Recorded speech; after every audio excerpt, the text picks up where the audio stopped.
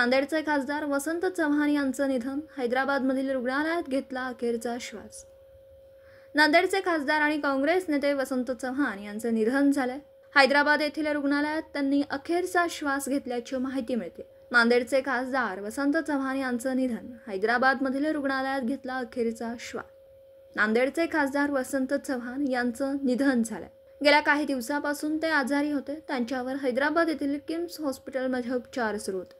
मध्यरात्री त्यांची तब्येत अचानक बिघडली. त्यावेळी त्यांना तातडीने काही दिवसांपूर्वी नांदेडचे खासदार वसंत चव्हाण यांची प्रकृती अचानक खालावली होती. त्यामुळे त्यांना तातडीने रुग्णालयात दाखल करण्यात आलं होतं.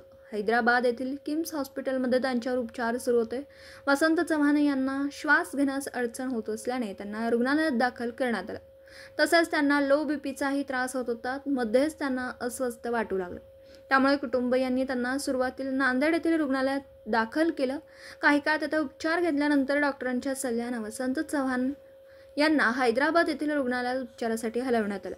त्यानंतर वसंत चव्हाण यांना उपचारासाठी एअर ॲम्ब्युलन्स हैदराबाद येथील रुग्णालयात हलवण्यात आले. दिवंगत खासदार वसंत चव्हाण यांची कारकीर्द. वसंत चव्हाण खासदार होण्याआधी महाराष्ट्र विधानसभेवर अपक्ष म्हणून निवडून गेले होते. त्यांनी नायगाव विधानसभा मतदारसंघाचं प्रतिनिधित्व केलं होतं. त्यांनी दोन हजार चौदामध्ये काँग्रेसमध्ये प्रवेश केला.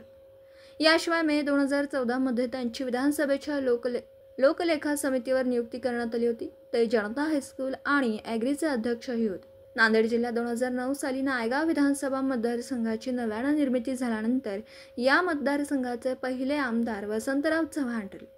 नांदेडमध्ये अशोक चव्हाण भास्करराव खतगावकर या नेत्यांविना काँग्रेस जिंकू शकते.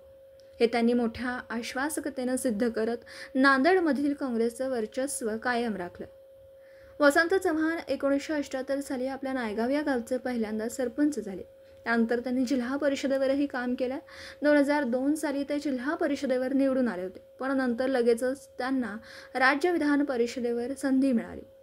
तिथून पुढे तब्बल सोळा वर्ष ते विधिमंडळाच्या दोनही सभागृहात कार्यरत होते. नायगाव या गावात एज्युकेशन सोसायटी या संस्थेच्या माध्यमातून त्यांनी मोठा शैक्षणिक विस्तार केला. दोन हजार चोवीस लोकसभा निवडणुकीत काँग्रेसकडे विजय खेचून आणला. काही दिवसांपूर्वी पार पडलेल्या विधानसभा निवडणुकांमध्ये अशोक चव्हाण काँग्रेसला रामराम केलं आणि भाजपमध्ये प्रवेश केला. भाजपनं त्यांना राज्यसभेवर घेतलं आणि त्यानंतर भाजपला नांदेड आणि हिंगोली लोकसभा जिंकण्याचा मार्ग मोकळा झाला. भाजपकडून प्रताप पाटील चिखलीकरांना पुन्हा संधी देण्यात आली तर काँग्रेसकडून वसंतराव चव्हाणांना संधी देण्यात आली. अशोक चव्हाणांचा पाठिंब्यामुळे भाजप नांदेडची जागा सहज जिंकेल अशी चर्चा असताना मतदारांनी मात्र वेगळाच निर्णय घेतल्याचं दिसून आलं. काँग्रेसच्या वसंतराव चव्हाणांनी भाजपच्या प्रताप चिखलीकरांचा मोठा पराभव केला.